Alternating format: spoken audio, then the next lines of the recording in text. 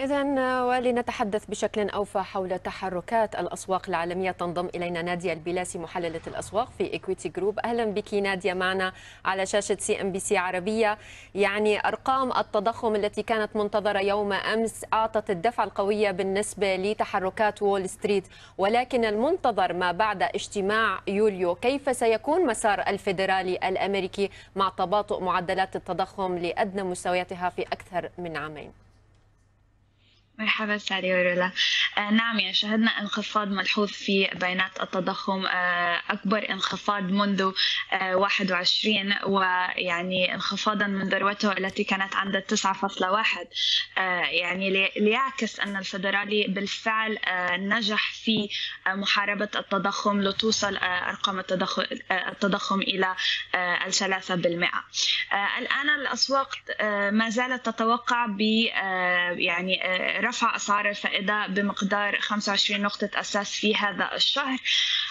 ولكن ممكن مع يعني بيانات أخرى أن نشهد تثبيت أو نشهد يعني شيء مختلف في نهاية هذا العام من حيث يعني إنهاء أو نهاية وصول نهاية رفع أسعار الفائدة أو التشديد النقدي الذي أيضا من وجهة نظر أخرى يقوم ب يعني الضغط على النمو الاقتصادي من الولايات المتحدة مثل ما شاهدنا الوظائف الغير زراعية التي جاءت عند ال 200009 يعني دون المستويات التي كنا متوقعينها. فبالفعل نرى أن يعني رفع أو تجديد السياسة النقدية انعكست على البيانات الاقتصادية ولكن صرحوا يعني members أو أعضاء من الفدرالي هذا الأسبوع بأن يعني لابد أن نلقي نظرة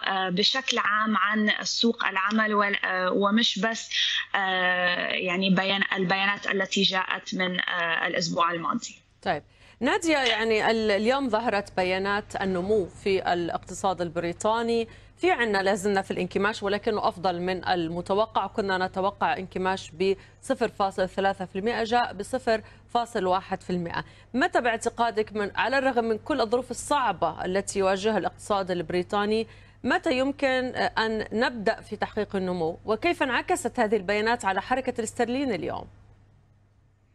يعني رولا لابد من أن نشهد ارتفاع في يعني غير عن الانكماش التي شاهدناه لابد يكون في ارتفاع ملحوظ للاقتصاد قبل أن نشهد بيانات أخرى تشير إلى النمو الاقتصادي في بريطانيا. ولكن لا يزال يعني البنك البريطاني يعني يقوم بمحاربة التضخم وهذا الهدف الأساسي الآن. ولابد أن نشهد المزيد من انعكاسات على يعني انعكاسات سلبية على النمو الاقتصادي. يعني يعني إحنا ليس بالمرحلة الآن أن نشهد هذا النمو الاقتصادي. الآن لاننا لسه داخلين في الركود الاقتصادي منذ شهرين. فيعني سيكون الأمر لسه يأخذ وقته في انعكاسات سلبية على الاقتصاد الأمريكي. ولكن غير عن ذلك نشهد الآن الاسترليني مدعوم كثير من يعني توقعات برفع أسعار الفائدة من بنك إنجلترا. ويشهد يعني يفوق عن التوقعات actually ويكون الآن يتداول عن مستويات ال 1.30 وممكن أن نشهد أيضا ارتفاعات أخرى مع انخفاضات الدولار التي لاحظناها يوم أمس.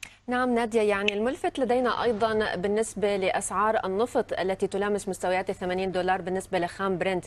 هذا المسار الصاعد الذي نشهده بالنسبة لأسعار النفط. هل يمكن أن يؤكد بأن التخفيضات الطوعية التي شهدناها من قبل السعودية باتت هذه التوجهات تؤتي ثمارها في هذه التحركات التي نشهدها على النفط؟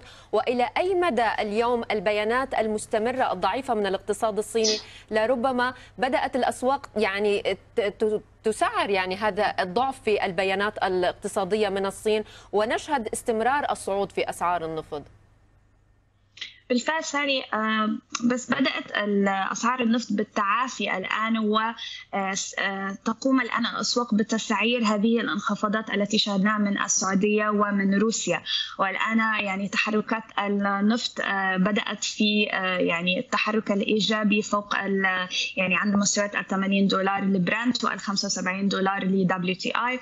وممكن أن نشهد المزيد من الارتفاعات خصوصا مع انخفاض الدولار بشكل ملحوظ. يعني عن مستويات المئة. وإذا دخل آه، في مستويات التسعين أجان ممكن أن نشهد ارتفاعات على أسعار النفط أجان آه، بغض النظر عن يعني التراجع في البيانات الاقتصادية من الصين ولكن آه، يتم في تدخلات من قبل الوزارة الصينية ودعم مثلا سوق العقارات الآن وتخفيض ال loans على ال individuals فلابد من أن نشهد المزيد من ارتفاعات عن أسعار النفط خصوصا بعد آه، تسعير هذا الشيء الآن. ونشكرك نادية البلاسي وأنت محللة الأسواق في Equiti Group شكرا.